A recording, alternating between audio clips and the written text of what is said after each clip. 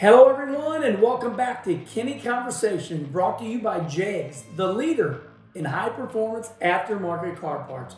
Remember to go to jegs.com and, as Uncle Rusty says, to fix your hot rod up. Why Uncle Rusty? Because that's all my kids call him. You know, it's the family and it's his nickname around our family, Uncle Rusty. So, this is a, a series, and we don't know how many of these we're going to do, but we're on our second one. You had an incredible career. You ran a lot of NASCAR races. You're in the Hall of Fame. You're a champion. You've truly done it all. And you did it the right way. You controlled your own chassis. Uh, you basically started, you helped Roger Penske start Penske South. And I believe Penske is what it is today because of you. So, where this story's going is, and you're going to tell it, but in the mid 90s, a phone company gets a hold of you because they want to see if their GPS works. Tell the story about when you went to Talladega. That's pretty correct what you just said. But, but Winston went away, Okay, and Nextel was the new sponsor for NASCAR. phone. The phone guys, Nextel, okay, that was a new sponsor.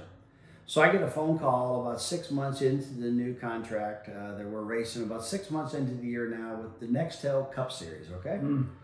And they said, we want to start broadcasting the driver's communications to a tower, then from the tower down to the, the, all the fans in the grandstands.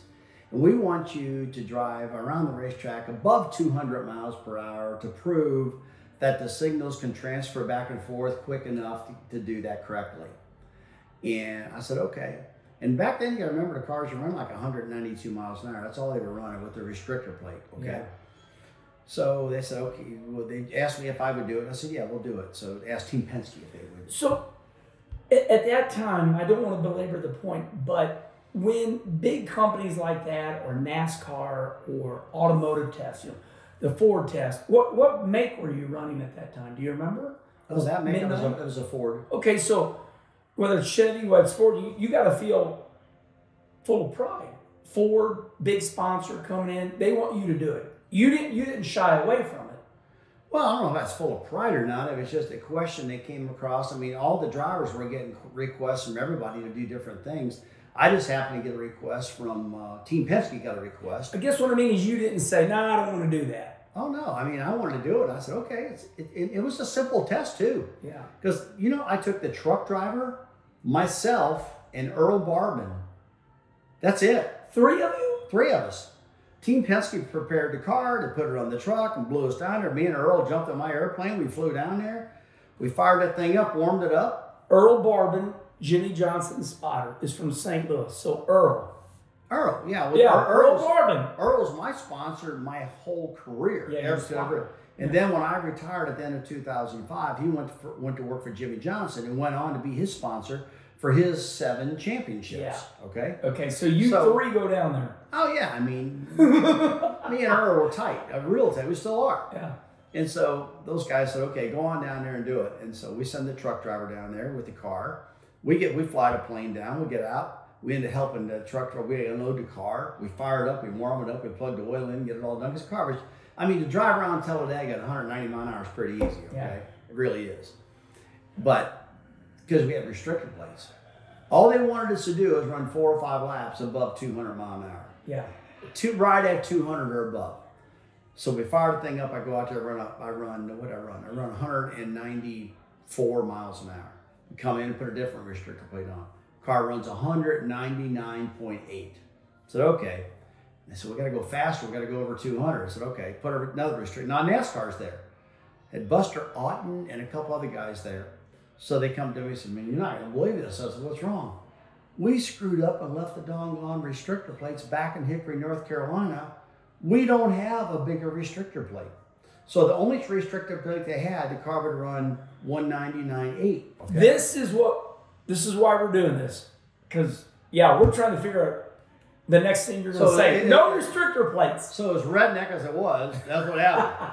we just forgot the rest of the restrictor plates to make it go a little faster, maybe over maybe 201 or 202.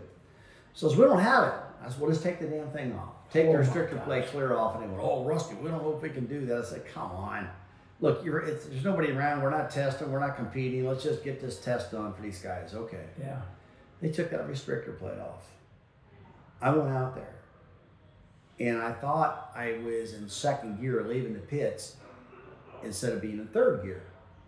So I downshifted the car because uh, this thing's in third gear and it's screaming, it's turning. I mean, it's wound up. Pull that baby back in high gear. I come ripping down the back straightaway. I come down the front straightaway. I come down the front straightaway 221 miles an hour. Were you scared? Getting up to speed. No, I knew I was really flying. I come back around. That damn thing come off at turn three. It goes down the front straightaway at the start finish line. It goes into a complete uh, hydroplane mode. No. I got the front wheels turned and the front end's got lift in it and it slid from the bottom of the track all the way up to the wall and that thing crossed the damn spark finish line at 242 miles an hour. Oh my gosh. I come in, I come in, I said, oh my God, I can't even drive this thing. So Earl and I put two spring rubbers in the back of the rear springs that jacked the ass end of the car up. Then we took the front fenders, we pulled the fenders out like three quarters of an inch on each side to get some downforce back to the front end. Yeah. We bolted four tires on that thing. I went back out, flew around there one more lap. It run 234. Then it run 241, and I felt the vibration. And I throttled back at 241 mile hour and- come down. And in two laps, it ripped all the rubber off the right front tire. It was going that damn fast that it ripped the rubber off the tires.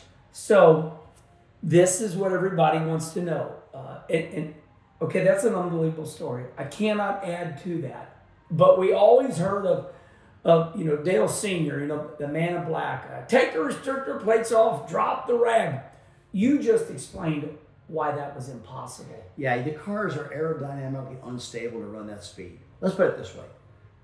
That era of car, Yeah. that era of car, Yeah, would you no way you could do that. yeah, That car, i- 200 mile per hour was its max to be aerodynamically sta- aerodynamically stable. yeah, I proved that. yeah. I mean, I couldn't even turn the wheel. I was going so damn fast. I was lifting the front end. And in two laps, that you're saying the tires were we're gone. It Okay. ripped, it ripped the tires off. It ripped the rubber off the tires. Yeah, and Goodyear uh, probably couldn't make a tire, and if they did, it'd have to be built like a truck. There'd be a lot, and, and there's no reason. Okay, let's change the subject a little bit.